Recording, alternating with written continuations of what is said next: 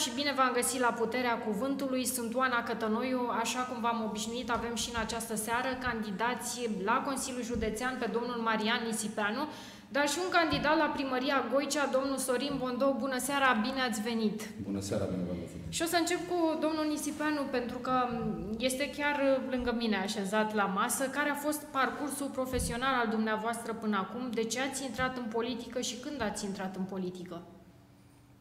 Bună seara, Marian Isipeanu este numele meu. Uh, parcursul meu profesional este legat din anul 2005, de când am devenit inginer la SEC Electrificare CFRSA. Timp de 3 ani. După 3 ani de zile am devenit șef de district, am condus uh, o formație de 30 de oameni timp de 6 ani până în 2014 și din 2014 până în prezent conduc 300 uh, de oameni la sucursala Electrificare Craiova. În afară de acest lucru, de-a lungul timpului am mai dezvoltat două business-uri pe plan personal, o firmă de lucrări de pregătire a terenului cu utilaje de construcții din anul 2008 și o firmă de curățenie de acum 2 ani de zile, de când am obținut un proiect pe fonduri europene făcut de mine personal, care această firmă am dezvoltat-o frumos. Este o nișă care se poate dezvolta în timp, cu seriozitate și corectitudine față de Și la fel vreți să dezvoltați și județul nostru, să înțeleg. Județul...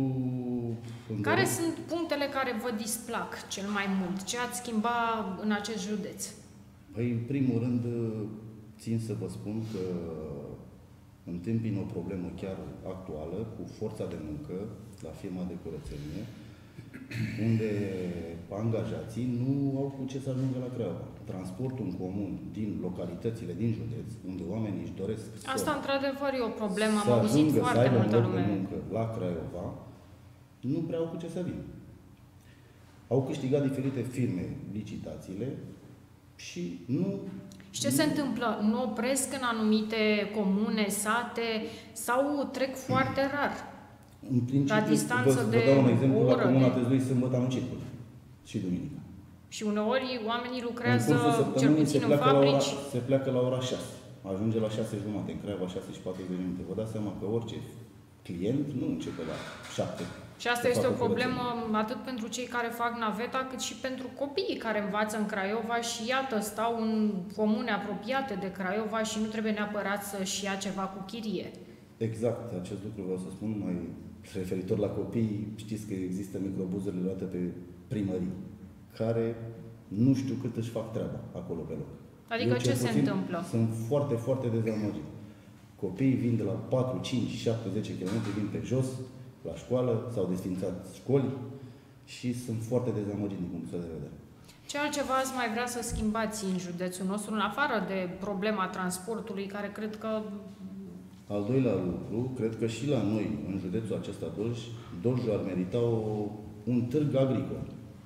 Un târg agricol însemnând legume, fructe, sezoniere, cum primăvara, ce legume se coc, vara, unde să vină numai producătorii județului și să putem să Adică să nu mai lăsăm sibienii, să nu, nu mai... Nu, să facem numai cu producătorii locali ai județului și să invităm celelalte județe la târgul nostru personal, al județului.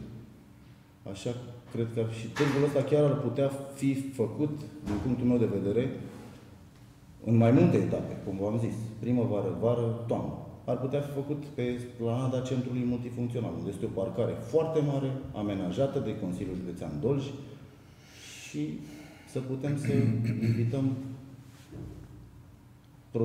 și producătorii din alte sau cumpărătorii din alte județe. Eventual și să ne extindem în străinătate ar fi super. Pentru că avem și la noi la în Dolj Zaibărul, avem legume, fructe, lubeniță, pepeni, Domnul Bondoc știe mai bine, iată că a intervenit. Așa cum vă spuneam, este candidat la primăria Goicea. Nu am terminat cu lista da. proiectelor până la urmă, sunt foarte multe de vorbit. Însă vreau să vă întreb și pe dumneavoastră, care a fost parcursul de până acum și de ce ați ales să candidați la primăria Goicea? Vreau să fac o remarcă vis-a-vis -vis de ceea ce a spus uh, domnul Nisipan. O chestie extraordinară este această treabă cu produsele agricole. Și este foarte adevărat că în județul nostru există deficiențe mari din punct de vedere al modului în care se achiziționează produsele. Vedem foarte clar ce se întâmplă în Dăbulen. Noi am susținut de foarte multe ori împreună cu domnul Nisipeanu punctele de achiziții, care sunt foarte importante. Dar prezentarea, pe de altă parte, are și ea rolul ei. Este foarte clar că această organizare pe care vrem să o facem în uh, acest centru multifuncțional este, cred că, o idee excelentă a partidului nostru și a oamenilor care sunt aici. Din punct de vedere al uh, transportului, iarăși pot să spun, da, are dreptate. Licențele acestor uh, primării sunt de mult neluate. În momentul de față, nu că nu pot să meargă, chiar nu se mai poate, nu că nu vor să meargă, chiar nu se mai poate, pentru că licențele au expirat. Din vari motive, nu știu, habar n-am. Unii dau vina pe ARR, unii dau vina pe șoferi, că unii că n-au, că n-au atestate, etc. Dar, într-adevăr, este o problemă majoră. Uh, n-am reținut ce m-ați întrebat. V-am întrebat cum ați ajuns să candidați la primăria A, Goicea și de ce ați ales Pro-România? Iată, încă o întrebare. Aici o poveste lungă. Cred că în ianuarie, nu, în decembrie, Domnul Stancu, președintele partidului, mi-a făcut o vizită. Mă întorsesem din Suedia, eu am o echipă care lucrează acolo de foarte mulți ani. De fapt, discutasem cu vicepreședintele, domnul Stanciu, domnul Octavian Stanciu, și dânsul îmi propusese o colaborare cu ceva timp în urmă, dar le-am zis, domnule, eu uh, am o problemă profesională acum, pur și simplu, nu pot să mă includ, nu pot să mă implic într-o Dar ați mai fost politică. în politică înainte de Pro-România? Da, am mai avut o tentativă prin 2012. Eu am candidat din partea Partidului Național Liberal atunci și, din păcate, la momentul respectiv, cred că nu prea era momentul ca noi să începem un proiect politic. La momentul acela era nu, nu se numea PNL, se numea PDL, nu? Sau Democrat, Democrat Liberal, da.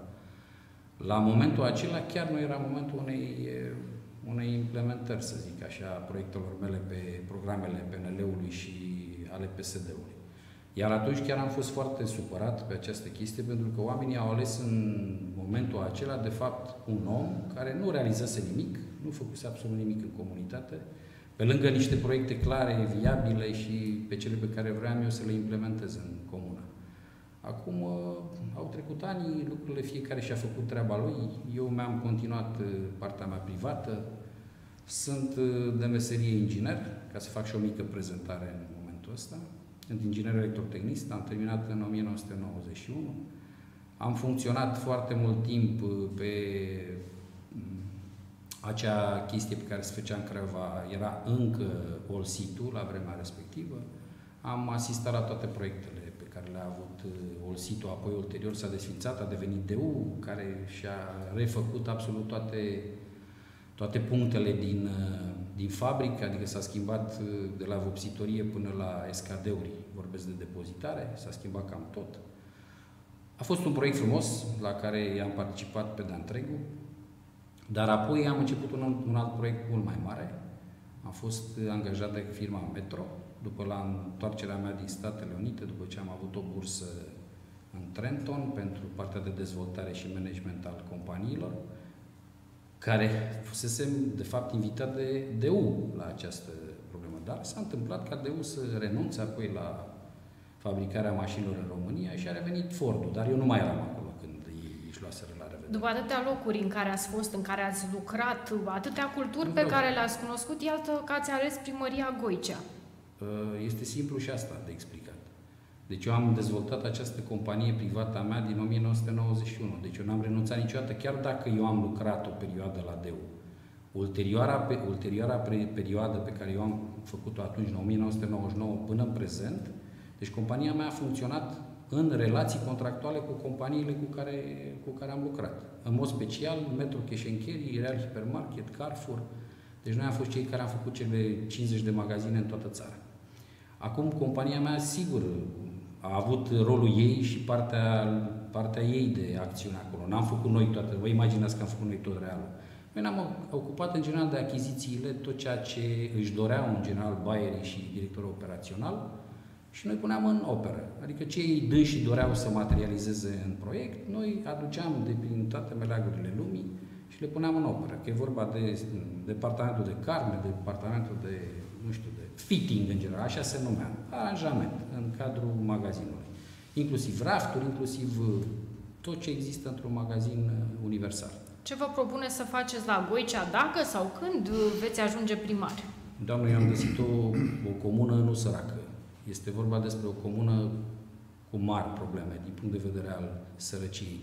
Adică oamenii au ajuns în momentul de față să muncească pe nimic, pur și simplu. Nu se mai găsesc locuri Și bănuiesc că fără contracte de muncă... Fără contracte de muncă. Nu mai vorbesc că există în comună chiar și investitori pe care eu sunt foarte supărat, pentru că, deși nu înțeleg că, de fapt, investițiile pe care le fac acolo trebuie să fie făcute cu singurul scop de a aduce valoare adăugată, pentru că vorbim despre școală, vorbim despre instituțiile, dispensarul medical, vorbim despre primărie, despre oamenii care se ocupă în mod special de problemele astea. Dânsi a... O problemă mare, iar în toate comunele, nu doar în Goicea, este faptul că tinerii migrează către orașe, către alte țări și așa mai departe. Cum credeți că ați putea păstra tinerii în comună? Dacă nu monopolizez discuția și, nu, da, și putem să vorbim, sigur, se pot aduce multe îmbunătățiri. În momentul de față, eu consider că singura lor șansă este ca, din punct de vedere antreprenorial, nu știu, mulți oameni să fie ajutați ajutați, pentru că noi în momentul de față primim foarte multe fonduri europene. Eu sunt beneficiarul a câtorva exemple pe care le-am și dovedit că se pot realiza. Între timp, uh, deci familia mea a realizat un ansamblu foarte frumos în Râmnicu Vâlcea, mi-a făcut o pensiune agroturistică, care este mândria mea și a familiei mele. Avem uh, o grămadă de oameni care acolo, într-o comunitate de munte unde nu exista nici, nici vântul, poate nu ne găsea, mai vorbesc de oameni, și pe care am dezvoltat-o cu timpul și au ajuns ca lucrurile să arate cum arată în momentul ăsta. Apoi, eu chiar în comunitate în Goice am încercat să fac exact despre ceea ce discutam cu Marian Nisipeanu, adică achiziții de fructe și legume. legume.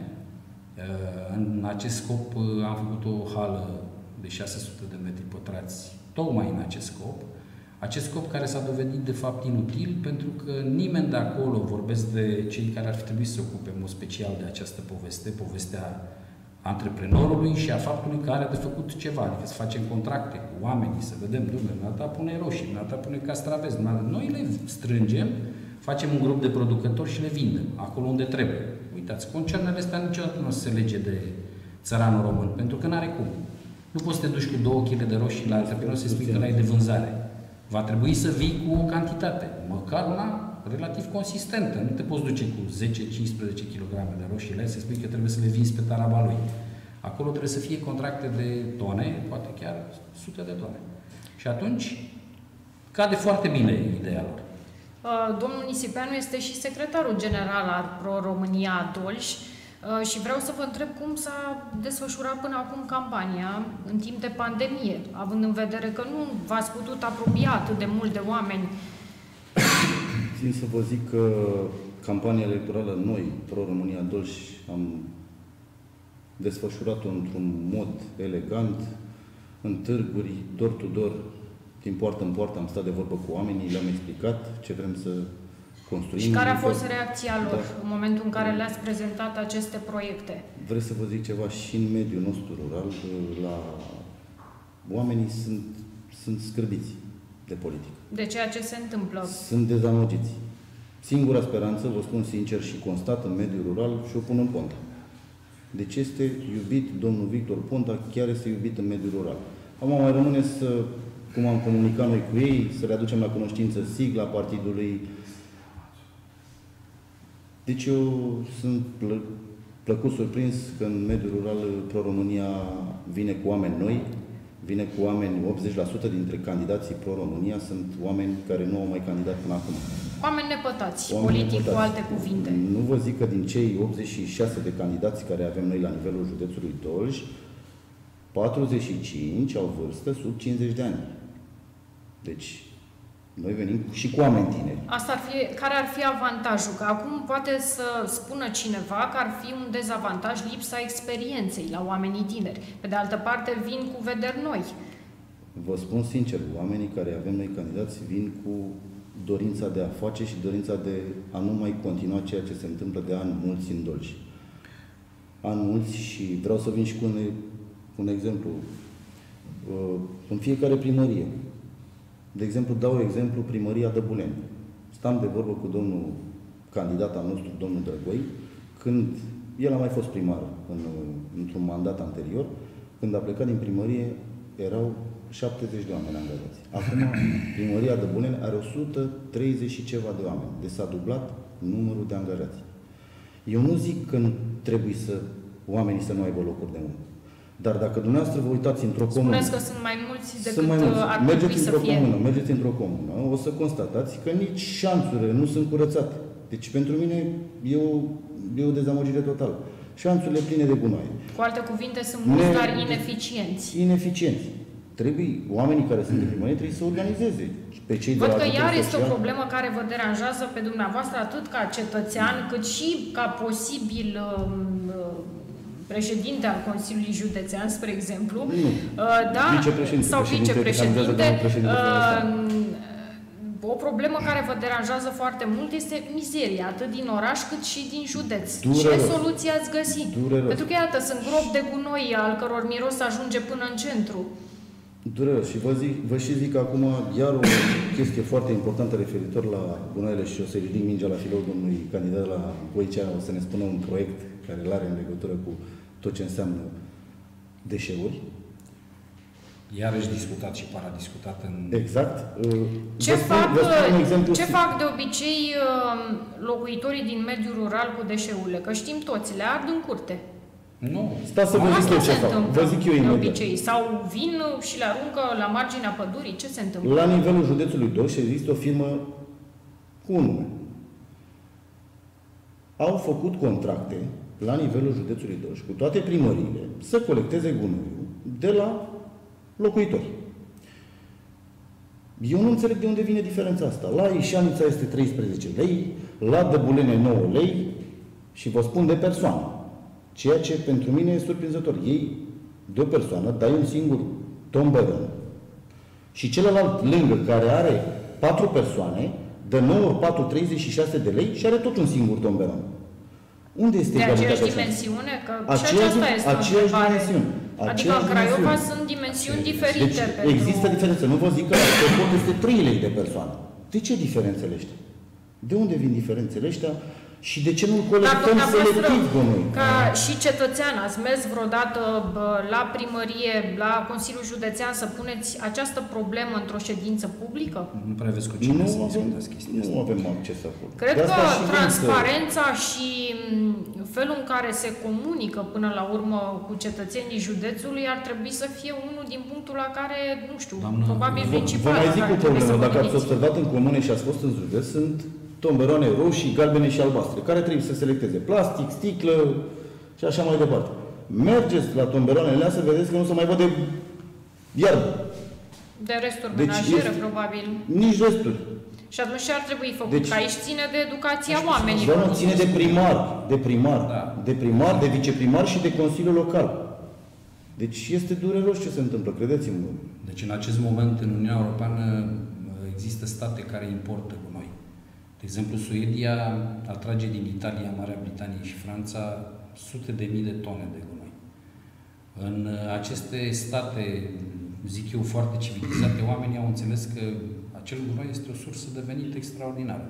Noi îl Pentru că înțelegem- poate fi că reutilizat. Poate fi valorificat. Nu neapărat utilizat. Da, și utilizat, pentru că petul, în general, n-ai cum să-l distrugi.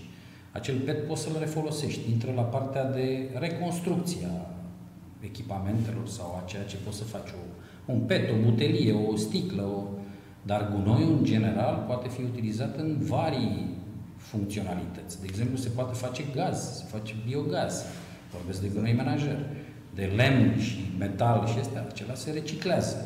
Dar, în general, gunoiul nu trebuie să fie o problemă pentru un om gospodar, în niciun caz. Ce se întâmplă la noi este strigător la cer. Nu suntem nici în Burkina Faso, cred că nu mai găsim asemenea chestii. Am făcut niște fotografii și le-am expus pe Facebook și l-am întrebat pe primar, domnule, dar e rușinos, măcar strânge-le undeva, pune-le grămadă, așează-le într-un fel, pune, fă o platformă, pur și simplu, și amenajează. Adică în acest moment, pentru că nu vedem fotografiile la care faceți referire, cum, Nu, nu e pe ușor. unde îl depozitează gunoiul? Nu-l depozitează niciunde. Uh, Exact Unde este cum aruncat? Marian uh, a punctat foarte bine această indolență a oficialităților, Eu vă pot spune foarte clar că în momentul de față nimeni, absolut nimeni nu se ocupă de acest gunoi. Și gândiți-vă că mai avem 2 ani de zile și intrăm deja în niște penalizări foarte grave. Adică sunt focare de infecție așa de peste infecție. tot? Da, exact. Adică în jurul satelor sunt în momentul de față, fără excepție, vă garantez chestia asta, fără excepție, că e vorba de Goicea, că e vorba de Bârca, că e vorba de Gângiova. Dăbuleni, Gângeva, dați nu contează.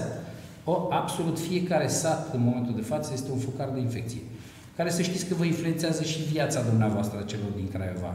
Pentru că... Olfactiv, cel puțin asta se întâmplă cu groapa de gunoi. Deci Asta se presupun întâmplă că... cu groapa de gunoi. Exact. exact pe care În orice dumneavoastră o aveți cartier la am Manfredi. locuit și iată chiar și în centrul Craiovei, dacă deschizi geamul seara, este un miros pestilențial, care nu știm de unde vine. Nu există nicio explicație pentru el. Există. Sunt aceste, aceste gunoaie care se întind jur împrejurul comunității noastre, și a Craiovei și a localităților limitrofe, și care, vă spun, vor crea probleme foarte, foarte mari pe pânză freatică, pe mediu, pe calitatea solului. Și o să ne mai mirăm peste 10-15 ani de ce noi am ajuns în situația în care suntem. De ce apele sunt uzate așa cum le vedem, că în momentul de față nu mai poți să vorbești de apă curată. Sunt pline de nitrați, nitriți, tot felul de bacterii, care sigur ne schimbă calitatea vieții, într-un mod uh, nu tocmai ok, să știți. Și cum vedeți rezolvarea la toate aceste probleme? Dacă îmi dați voie sau dacă poate Marian să exprime, Rezolvarea. e o Eu rezolvare pot să foarte spun simplă. simplu, prin disciplină, oficialitățile, din punctul meu de vedere. Trebuie să implice activ Da, în comunitate? primarul, viceprimarul și Consiliul Local trebuie să se implice activ în comunitate. Până la urmă, nu cred că e Trebuie greu și de noi realizat să- că e o comunitate mică în mediul rural. Trăim în secolul 21. Dacă noi, dolgeni, nu ne dăm seama că ne ducem în, spre un drum greșit, n- nu văd ce, ce vor face copiii noștri mai târziu. Și credeți-mă, vă spun cu mâna pe inimă. Eu am intrat în politică pentru copii, pentru nepoții părinților. Adică ne dorim să facem altceva. Numai să sperăm că și reușim. A, Asta era o întrebare pe care vreau să vă adresez. Sunteți totuși destul de realizați sau chiar foarte realizați profesional. De ce v-ar mai trebui o funcție? Eu am ieșit la pensie, pentru mine e simplu. Deci eu Și mi-am vreți să cedat- dați un sens vieții de Eu după mi-am- pensie, să eu înțeleg. Mi-am, eu mi-am cedat, nu, e, nu mi-am, n-am ieșit la pensie, glumeam, am pus-o între ghilimele. Eu mi-am cedat oarecum afacerea copilului și celor din familia mea. Nu mai am uh, o prea mare responsabilitate, sunt decât în un training și un observer, așa, deci mă duc decât la situații delicate. Și evident, mai țin și de contracte, mă rog. Dar în principiu mi-am dedicat uh, viața și munca mea pe viitor pentru comunitatea în care trăiesc. Trăiesc acolo de 30 de ani, mă rog, oamenii percep un pic ciudat uh, relația mea cu ei. Pentru că ei se gândesc, domnule, dar ce-ți mai trebuie, domnule? Tama primăria vrei să-ți o iei, nu-ți ajunge, ți-ai făcut și casă, ți-ai făcut, ți-ai luat, ți-ai dresc. Așa sunt oamenii. Ei nu înțeleg că, de fapt, eu nu vreau să ies în stradă, în comunitatea aia și să nu mai găsesc decât bătrâni pe stradă, peste 10-15 ani, și să n-am cu cine să ciocnesc un pahar de vin dacă vreau să vorbesc cu vecinul, sau să nu pot să discut la o tacla, așa cum se spune pe la noi pe acolo. pe la Cu alte Vâlcea. cuvinte, vreți să creați locuri Să- de muncă să pentru că... întinerească comunitatea. Asta Exact, îți doar Foarte așa important. puteți păstra tinerii acolo. Și asta își Foarte dorește și, și acest partid tânăr care eu i-am înțeles modul de gândire și cu toate că eu sunt de esență un tip liberal, cu convingeri liberale, asta pot să spun. Deci pe mine m-a captat foarte mult imaginea acestui partid și mi-a dat impresia într-adevăr că se vrea schimbare. Se vrea schimbare cu adevărat.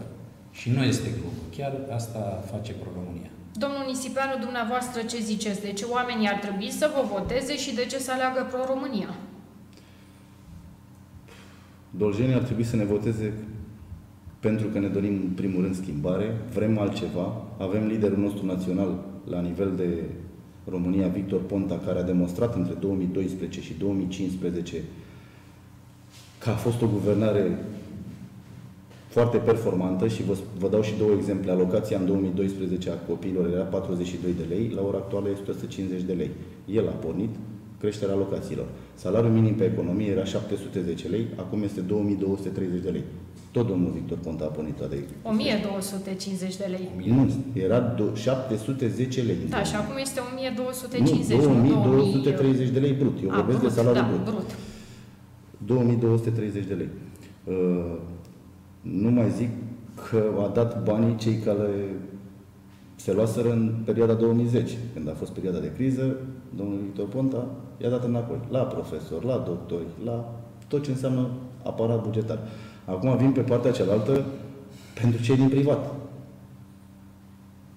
Vă spun o diferență. În privat este altceva. În privat chiar se vrea performanță și se face performanță. În sistemul bugetar la ora actuală, să mă scuze colegii, prietenii, dar s-au promovat numai oameni care nu, nu sunt profesioniști. Sistemul ăsta. Sistemul este foarte... Adică nu pot să, să promovăm un om care să promovăm pe partea inginer, să promovăm la spital. Păi dacă îl puneți să vadă planul de achiziții al spitalului, de exemplu, numărul 1, să vadă ce cumpără medicamente și tot, nici nu poate să le pronunțe numele. Că Dar știți cum, să aibă acolo un consilier care să-l ajute. Um... Vedeți dumneavoastră, consilierii sunt de acord cu dumneavoastră că pot să te ajute, dar și tu trebuie să ai un pic totuși cât de cât idee. Dar dacă promovezi un inginer la spital și cu alte cuvinte, bani, nu sunteți de, de acord cu oamenii puși politic nu. în anumite funcții? Sunt de acord cu oamenii puși politic, nu pot să spun pentru că fac și eu politică, dar să punem oameni pe competențe. Și pe bază de examen? Pe bază de examen.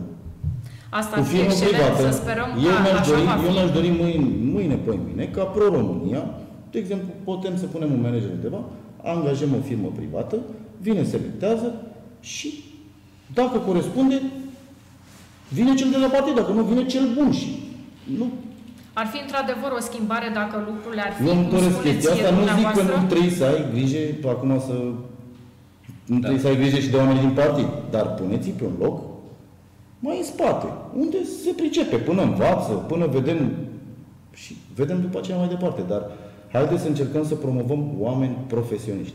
Că dacă, că, virgulă, dacă promovăm oameni profesioniști, o să fie bine și pentru ceilalți. Până la urmă, cred că nu avem încotro. Să știți că uh, viața ne va demonstra în foarte scurt timp toate lucrurile astea care se întâmplă în momentul de față în politică este de fapt o chestie foarte urâtă. Sigur că eu am toată încrederea într-un om politic, sigur că am toată încrederea că el așa, din punct de vedere al viziunii, al modului în care gândește, al modului în care interpretează lucrurile, le poate gândi corect. Dar nu-l poți pe acel om politic pune la cârma unei întreprinderi. Sub nicio formă. Acolo trebuie să ai un om care cu adevărat își demonstrează competența din punct de vedere profesional. Nu poți să ai, cum a spus Marian, la spitalul județean un ce? Un lăcătuș sau ce să Gândiți-vă că este managerul de acolo Asta este o problemă foarte, foarte mare bani. care se întâmplă de mult timp, da, că oamenii sunt puși politic. Eu m-aș bucura ca prin dumneavoastră să vină rezolvarea într-adevăr. Vă mulțumesc foarte mult, trebuie să cedăm locul colegilor dumneavoastră. Mult, mult succes vă doresc! Vă mulțumim frumos! Vă mulțumim frumos! O seară frumoasă!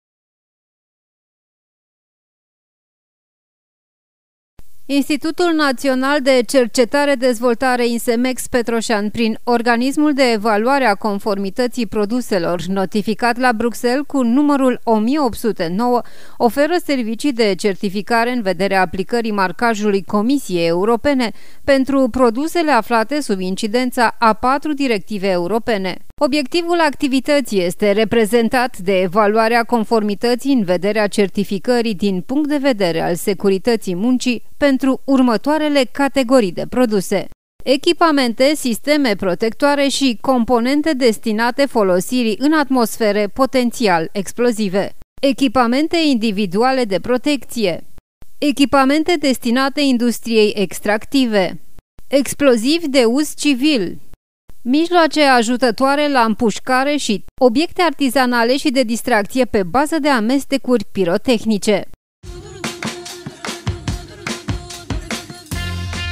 Ia uite Uite la ea, Grația o are de la tata. Unde s-a dus? A, uite-o, spontană ca mama. El, puștul ăsta e campion la basket ca tata. Yes! Trei puncte, frate! Și campion la reciclat ca mama, bineînțeles. Doamne, copiii sunt fantastici! Iau cei mai buni de la mama și de la tata și ajung să ne uimească pe toți. Pentru că oricât am fi de buni fiecare, toți suntem mai buni împreună. De acum, Vodafone și UPC sunt mai buni împreună, cu cea mai bună rețea de date mobile, cel mai mare număr de canale TV și cea mai bună experiență Wi-Fi pentru fiecare, dar mai ales pentru toată familia împreună. Ready? Vodafone.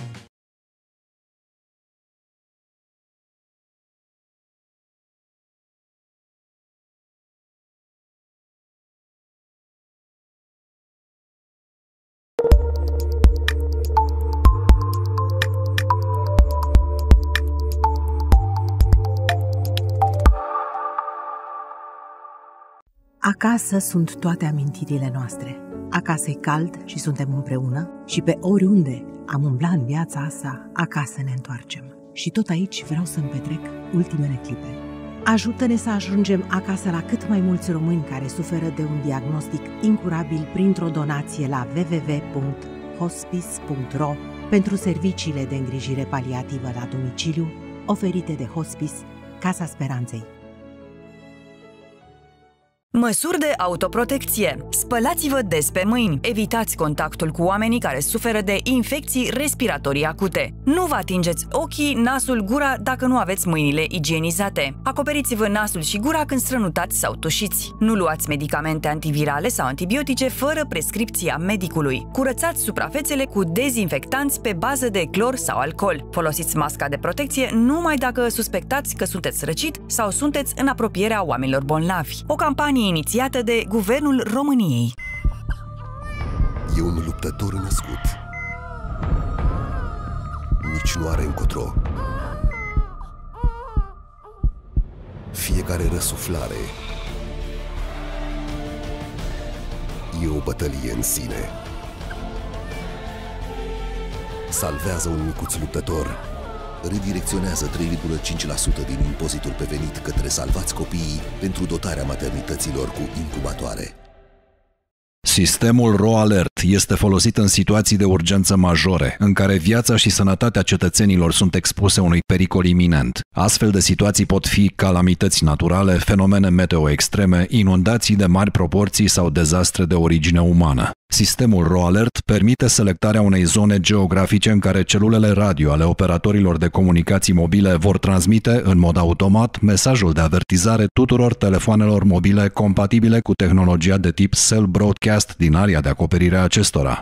Accesați site-ul ro-alert.ro pentru a afla mai multe detalii despre sistemul RoAlert și despre instrucțiunile de configurare a telefonului dumneavoastră în funcție de model și operator. Pentru avertizări meteo, alerte din trafic sau alte tipuri de avertizări care nu fac obiectul sistemului RoAlert, autoritățile vă recomandă să descărcați gratuit aplicația DSU, disponibilă pe App Store și în Google Play. O campanie a Departamentului pentru Situații de Urgență.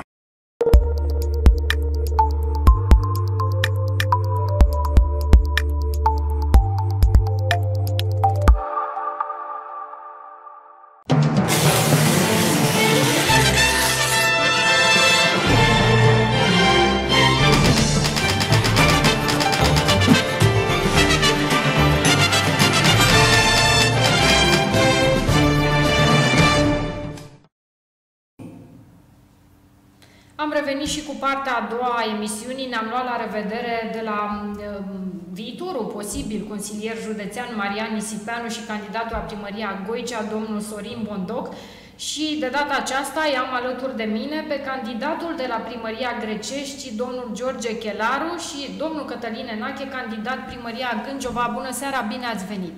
Bună seara! Bună seara, dumneavoastră și telespectatorul dumneavoastră și mulțumim pentru invitație.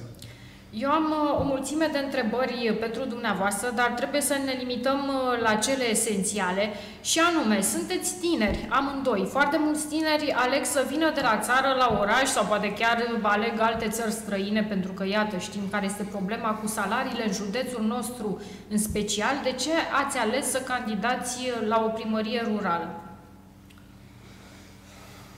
Sună puțin ciudat uh, o o să sune ciudat răspunsul meu. Uh, la mine e o situație mai specială. Chiar sunt din acea localitate. Acolo am copilărit, merg destul de des, aproape săptămânal. Deși trebuie să precizăm că locuiți în Craiova acum. Locuiesc în Craiova, sunt uh, manager la Valrom. Această firmă face parte din grupul Fondital Italia, deci într-o multinațională. Și totuși... Aleg... Și totuși doriți să vă întoarceți la țară. Exact. Acolo unde ați copilărit. De ce? Uh, simt că satul românesc se destramă. Sau mai degrabă vedeți un potențial în el? Potențial uh, de dezvoltare. Adică așa. înțeleg că mai degrabă mergeți pe partea sentimentală decât uh, pe dorința de a schimba ceva radical în viața rurală din Dolj? Da, despre asta e vorba. Uh, eu observ de ani de zile, indirect lucrez cu primăriile datorită jobului și observ că edilii, marea lor majoritate, nu se implică în evoluția satului. Pur și simplu sunt interesați doar să ajungă în acea funcție, apoi uh, totul se rezumă la afacerea proprie, ca să zic așa. Uh, nu înțeleg. Există acum o lipsă de forță de muncă în România. De ce nu se creează locuri de muncă în mediul rural? De ce uh, nu se atrag investitori în mediul rural? De ce nu se acordă anumite facilități pentru investitori în zonele respective? Nu mai există tineri. Nu mai există, după cum spuneam, toți aleg orașul pentru că nici nu sunt locuri de muncă. Sau adică, străinătatea. Sau străinătatea, în cele mai multe cazuri, vin, își fac o casă, după aceea lasă casa goală și se întorc în străinătate. Știm că este adevărul toți cei care mai mergem din când în când în vizită la bunici sau la rude în mediul rural. Dacă mă întrebați pe mine, eu așa văd lucrurile. În primul rând, un primar ar trebui să creeze bunăstare localnicilor și cum poate crea asta? Ce ar trebui făcut? Unde ar trebui investit? Tragerea de investitori. Adică deschise firme, dați-mi niște exemple, nu știu, de croitorie, de tapiserie. Haideți să vă zic, acum fiecare localitate, să zic așa, are specificul are ei. specificul ei.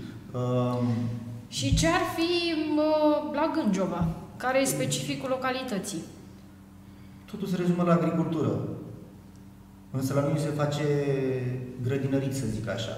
Nu suntem foarte departe de Dăbuleni, să zic așa, unde știți bine uh, ce se întâmplă acolo. Uh, oamenii nu sunt ajutați pe partea asta, nu știu ce înseamnă un proiect pentru acest lucru.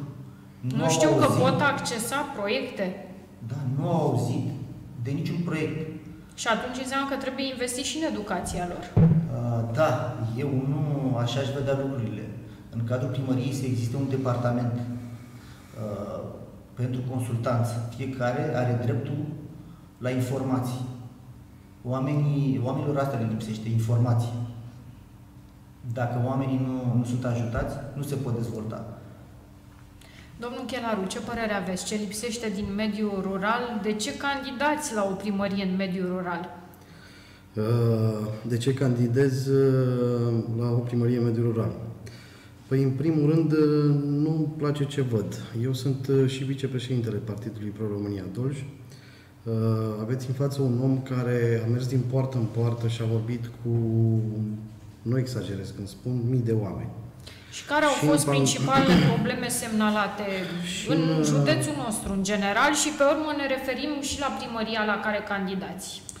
Uh, da, ajungem și acolo. În mare parte oamenii vor o schimbare. Schimbare absolută, își doresc extrem de mult această schimbare, nu sunt uh, mulțumiți de uh, primarii actuali, de ce au făcut pentru, pentru ei.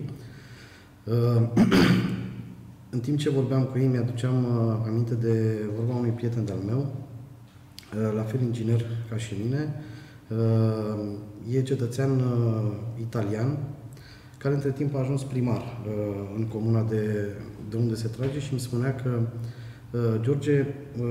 Deci iată România... că a ales până la urmă țara noastră și mai mult mediul rural. Nu, e primar în, în Italia, dar... A, este primar am, în Italia, am da, înțeles da, da, că... E primar da, în da, Italia, da, da. am colaborat împreună la un proiect aici în, în România, un proiect pe Vița de Vie și am rămas prieteni de atunci. Am păstrat uh, legătura, chiar vara trecută am fost la el și mi-a arătat uh, uh, mai multe dintre proiectele pe care el le-a, le-a implementat la nivel uh, Și din de care comună. v-ați inspirat vreun pic, adică ar putea fi Foarte puse în multe, practică. foarte multe ar putea fi puse în practică fără niciun fel Cum de ar fi? problemă la noi în, uh, la noi în, uh, în satul nostru român. Dați-mi, dați-mi câteva exemple pentru Vă că... dau imediat un exemplu, lăsați-mă să termin și să vă spun, e o chestiune foarte importantă care mie mi-a dat foarte mult de gândit. Uh, îmi spunea că voi, uh, românii, trebuie să treacă foarte mult timp ca, ca să realizați că primarul nu este șeful vostru și uh, e, e invers, din potrivă. Voi sunteți șefii primarului, voi îl trimiteți acolo, uh, el doar vă reprezintă uh, și mm, e plătit pentru, pentru a face asta. Când veți realiza acest lucru, că nu trebuie să aveți teamă Când se va schimba Față de- practic mentalitatea celor din mediul da? rural să și nu numai. votați din teamă, să votați din convingere că acel pe, acela pe care voi îl votați e mai bun decât celălalt, atunci se vor schimba foarte multe și la, și la voi. Adică se întâmplă ca acum oamenii să voteze din teamă că se vor certa cu actualul primar și va ieși tot el sau care este de fapt problema? De ce se votează an la rând, poate chiar și 20 de ani, că sunt foarte multe cazuri, același primar? Pentru că este bun sau de teama de care precizați dumneavoastră? Uh, În general, primarii noștri de după 90, atunci când au ajuns în funcție, au acaparat oarecum uh, uh, comuna. Uh, E un sentiment nu foarte plăcut uh, când vezi astfel de astfel Bine, de sunt lucruri. și cazuri Și pozitive, ăsta sigur, e și dar... motivul pentru care eu am ales uh, acum un an uh, să intru în politică uh, și am ales Pro-România pentru că este un partid nou, da? un partid uh, de centru-stânga modern, care până acum mi-a dovedit că se bate pentru, pentru cetățeni și se bate în primul rând pentru drepturile pe care aceștia le au. La noi, la Dolj, să știți că în marea majoritate a membrilor nu au mai făcut uh, politică, vin din uh, mediul privat, sunt oameni de business care au realizat foarte multe până să ajungă în politică, oameni care nu trăiesc din politică.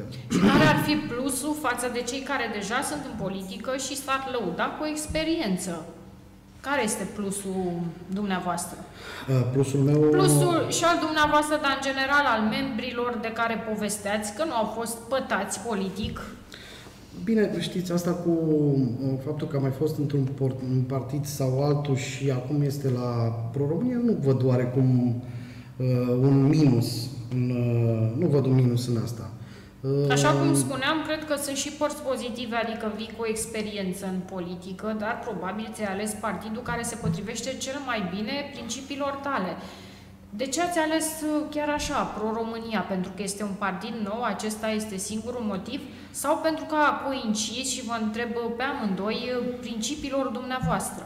Uh, a coincis principiilor mele, în primul rând. Uh, am venit și am, mi-au plăcut oamenii pe care eu i-am găsit acolo, da? în frunte cu președintele uh, Florin Stancu, uh, deputat uh, Pro-România Dolj. Uh, am găsit colegi uh, profesioniști și asta e adevăratul motiv pentru care am și rămas în continuare alături de Pro-România. Uh, luna trecută s-a împlinit un an de când uh, fac politică, uh, dar să revenim la comuna unde eu am decis exact, să de candidez. ce candidați acolo și ce doriți să vă schimbați? Sau ce le promiteți locuitorilor că veți schimba în comună dacă veți fi ales ca primar? Uh, Credeți-mă, de promisiuni sunt, uh, sunt sătui. Vă spuneam uh, la început. Bun, atunci emisiunii că cum vorbiți puteți cu- să-i convingeți? vo- Vorbiți cu un uh, om care a stat de vorbă cu mii de oameni și le-a aflat problemele. uh, Ce certitudine le oferiți atunci, să întreb altcumva?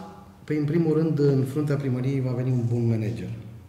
Dacă nu ești un bun manager, nu ai cum să administrezi o primărie cu angajații Firește. săi și nu ai cum să ai grijă de, nu știu, câte, uh, câte suflete se află într-o, într-o comună, să-i mulțumești și să ai grijă de ei. uh, toți. În primul rând, ăsta e primul criteriu pe care ar trebui să-l aibă un, uh, un primar sau un viitor primar, să fie un bun manager. Din păcate, partidele politice, toate partidele politice, nu își aleg candidații după anumite criterii. Dacă găsesc pe cineva care, fie el și mecanic, nu, nu contează, ci dacă are multe voturi în spate și are susținătorii, îl vor susține și îl vor scoate primar. Din punctul meu de vedere, lucrurile nu ar trebui să stea deloc așa. Uh, candidații ar trebui să, să fie susținuți și sprijiniți, dar să fie uh, găsiți după anumite criterii. Uh, criterii pe care dacă luăm primarii la rând de la noi din, din județ, din județul Dolj De fapt, da, mulți au fost aleși ce doar spun, politic. Credeți-mă ce vă spun, că nu le îndeplinesc sub niciun fel. Uh, eu am mai multe proiecte pentru, uh, pentru greceștenii mei, uh, proiecte care... Dar de ce spuneți greceștenii mei? Ce legătură aveți cu grecești? Că asta nu ne-ați povestit. V-ați născut, ați copilărit acolo? Vacanțele, marea majoritatea vacanțelor le-am petrecut în, în grecești, alături de bunicii mei.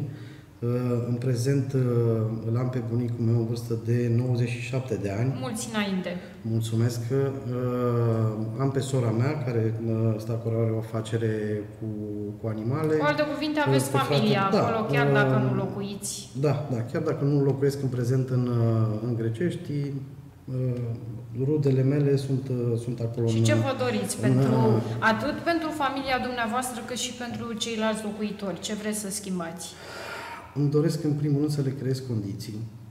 Uh, adică ce le lipsește eu, acum? Eu au apă candidat, curentă, uh, au canalizare, nu știu dacă au gaze, bănuiesc că niciun Eu am caz candidat că... Uh, din convingere că pot schimba în bine comuna Grecești. Aceeași convingere am avut-o și la început, aceeași convingere o am și acum, în prezent, când mai sunt câteva zile până la încheierea, încheierea campaniei am candidat să demonstrez că într-o comună atât de subdezvoltată, din toate punctele de vedere, cum e comuna Grecești, se pot face lucruri de neimaginat. Uh, lucruri pe care dacă vrei să le faci, le vei face. Da? Uh, îmi ziceați mai devreme de, ce, de exact. apă, de... Haideți uh, să că spunem exact ce le lipsește și ce vreți să faceți. Eu vă spun problemele pe care ei mi le-au semnalat. Nu, nu vă spun, nu vin în fața uh, da, greceștenilor mei cu asta proiecte, întrebam, da. pentru că sunt sătui. Odată la patru ani, unul sau altul a venit în fața lor și le-au spus eu, dacă voi ajunge primar, uh, voi face asta. Evident că ea păcălit. Bun, eu ce, am ales să nu fac, uh, să nu fac ce asta. Ce probleme v-au semnalat atunci când ați vorbit cu ei? Uh, prim, prima problemă pe care mi-au semnalat a fost apa. Deși uh, actuala administrație a băgat apa în comun, li se dă apă odată la două zile, din două în două zile. Dacă noi în 2020 putem să spunem că bem apă la două zile sau că ne spălăm odată la două zile sau la trei zile, da, de ce se întâmplă mai... asta? Că iar am văzut că este o problemă în comune și asta vreau să-mi spună sau să-mi confirme, dacă poate, și domnul Cătălin Benache, Uh, este o problemă și faptul că toți își udă cu apa de la robinet grădinile și atunci nu mai este debit, am înțeles. Uh, e o problemă mare. Odată că aceste lucruri sunt prost făcute, Asta este. Cred Asta că, de fapt, de aici pornește. Că, până la urmă, dacă plătești și ai apometre, poți face ce dorești cu apa respectivă. Ăsta e domeniul cu care mă ocup eu. Apă canal. Aici mă pricep cel mai bine. Și cea de-a doua problemă este că primarii în funcție uh, nu contorizează apa la cetățeni. Și asta de teama de a nu-și pierde votul. Așa se ajunge ca unii să consume... Deci asta se întâmplă. Nu au apometre. Și din cauza asta, alții care poate nu udă grădine sau nu au grădină, rămân fără apă. Sau așa cum spuneați dumneavoastră, cu apă din două în două zile. Normal, această apă, să zic, ar fi folosită pentru uz casnic nu pentru grădini, nu pentru alte lucruri. Însă acest lucru se întâmplă, încă o dată, repet, datorită celor care conduc comuna. Dacă, nu cred că și-ar permite nimeni să plătească... Deci dacă ar fi montate apometre, pe scurt, da? Nu s-a... da, de apă pe lună, da, ca să-și da. grădina. Cu alte cuvinte, amândoi doriți ca dacă ajungeți primar să rezolvați această problemă cu apă și iată mi-ați dat o rezolvare atât de ușoară, adică dacă se montează apometre, apometre care nu se montează de teama că nu vor mai fi aleși, iată că asta nu m-am gândit la acest aspect, s-a rezolvat problema cu apa menajeră. Da, dacă... O altă problemă care ar mai fi în aceste două comune? Siguranța oamenilor. În ce sens? Adică se întâmplă, nu, nu știu, jafuri sau exact. la ce vă exact. referiți? În sensul că sunt foarte mulți hoți, să zic așa, eu cel puțin uh, acum pot vorbi de comuna Gângiova, locuințele, să zic așa, sunt vizitate de hoți foarte des, uh, oamenii cei în vârstă nu au curaj ce poate să facă și nici nu se pot apăra firește. Da, dacă știe că și aude da, că a venit hoțul în casă. Da, și pur și simplu nu se Și asta din ce cauză se întâmplă?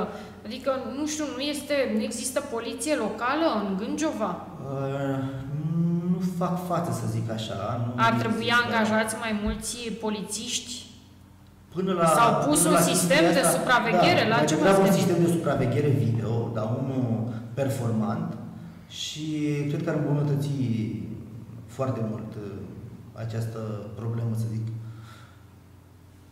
Domnul Chelaru, ce altă problemă spuneați în afară de apă și iată, și siguranța la asta nu m-am gândit, dar într-adevăr și noi primim foarte multe comunicate de presă din județ, nu țin minte exact din ce comune, dar într-adevăr se întâmplă multe incidente. Ce altă problemă v-au mai semnalat locuitorii comunei cu care ați, sau comunelor cu care ați vorbit dumneavoastră în funcție de vicepreședinte? Uh, hai să dăm exemplu Grecești. Mi-a mai semnalat faptul că uh, ar avea mare nevoie de o mașină de pompieri acolo la, la Grecești. Nu există? A fost, nu mai este. Nu știu ce s-a întâmplat cu ea, unde a sfârșit, dar nu mai este. Și sunt incendii? Uh, Păi, Vorbesc că și de vegetație haideți, uscată, pentru că uh, sunt aproximativ, aproximativ 50 de kilometri de la Craiova până la, până la Grecești. Adică în cazul dacă în care, se întâmplă ceva, ferește, poate fi o tragedie ceva, de proporții. Exact. Și dacă ajunge o mașină de pompieri de la Craiova uh, la, la Grecești, va dura foarte mult timp. Uh, drumul către Grecești, strada către Grecești nu este foarte strălucită, din potrivă, toți știm asta. Uh, mașina de pompieri, vă ziceam, își doresc un azil de bătrâni da? Un azil care se poate face foarte ușor. Și iată așa europene. s-ar crea și locuri de muncă și poate chiar am aduce oameni din Craiova la Grecești. Da, uh, comuna noastră are în, uh, în special nevoie de investitori. Uh, cu ajutorul investitorilor poți rezolva problema bugetului. Pot veni de acolo fiind bani la buget. Marea majoritatea primarilor nu știu uh, cum să, să, să aducă, uh, bănuiesc asta am văzut din ce văd, uh, nu știu cum să-și aducă bani la buget. Bugetul se, mări, se poate mări foarte ușor cu ajutorul investitorilor. Dacă aduci investitori în, uh, în comună, în diferite domenii, nu știu, în mai multe domenii, uh, depinde de fiecare, depinde de fiecare comună. Cu ajutorul lor poți mări bugetul, din care poți plăti o cofinanțare pentru pentru un proiect pe fonduri europene, poți plăti TVA-ul din bugetul primăriei pentru un proiect pe fonduri uh, europene. Deci, iată, se pot face multe pentru, pentru comună. Dar de ce uh, nu se fac? Pentru că nu sunt pricepuți primari în a negocia, în a comunica sau nu se dorește? Ce se întâmplă? Ce credeți că se întâmplă în țară, în general? Nu știu dacă se dorește sau nu, nu știu ce problemă au avut, dar uh, în comunele Uh, dolgene, fond, uh, stăm foarte, foarte prost la absorție fonduri europene. Se vede asta. Noi la, uh, și ca să vă dau un argument, noi la nivel național vorbind, am atras 30% din total fonduri alocate României.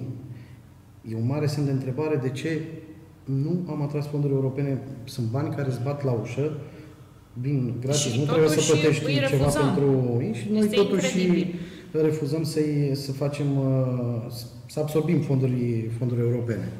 Sunt uh, primari care, într-adevăr, au făcut tot ce, tot ce le-a stat în putință să absorbă cât mai multe fonduri europene.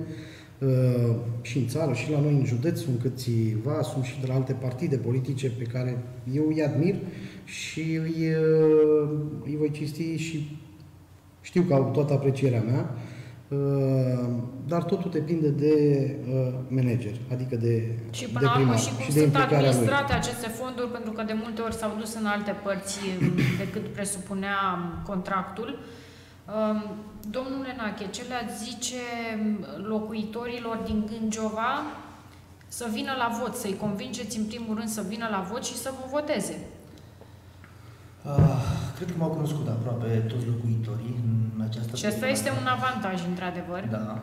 Uh, cred că acum e șansa să schimbăm fața comunei. Uh, eu doar atât le, le transmit să se gândească la interesul lor personal, să se gândească la viitor, să se gândească la tineri. Doar atât. Nu-i cer să mă voteze dacă nu cred în mine. Și dumneavoastră, domnul Chelaru, dacă Ca ar fi un- să le transmiteți ceva, pentru că m, acum se uită m, locuitorii comunei la care candidați, ce le-ați transmite? Uh, Le transmit în primul rând să aibă încredere în mine, că ceea ce le spun voi face.